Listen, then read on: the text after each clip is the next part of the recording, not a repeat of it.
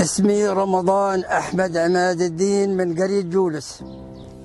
أنا الحجة أمينة عبد الله درويش أبو تلمية. أنا من جورة عسكلان أنا أنا آه، محمود عود العصار من جورس أنا المواطن الحاج عبد الرحمن حسين مصطفى ياسين من قرية الجية.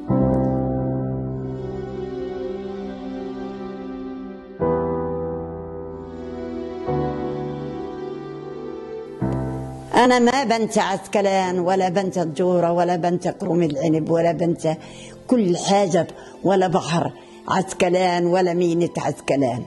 هي أم الخير وهي الفل في فلسطين.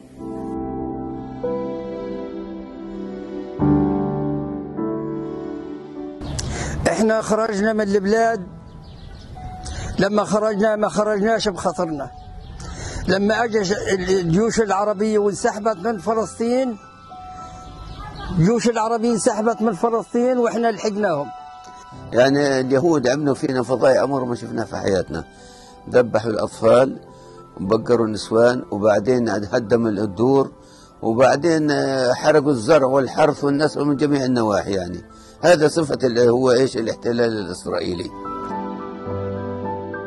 واشتدت علينا الكفار الطيارات ظلت يطحوا يطحوا يطحوا في كل